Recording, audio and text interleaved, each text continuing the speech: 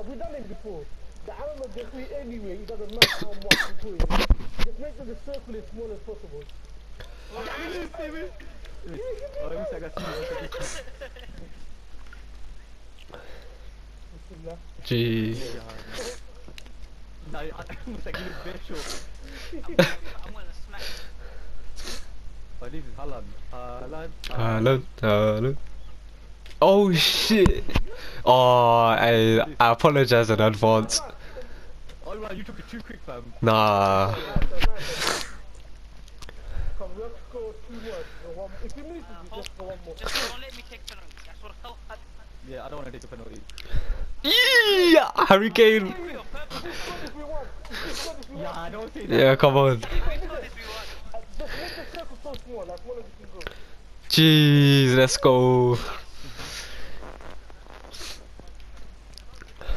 Abby, do you want? Well done, I can see you guys are so happy.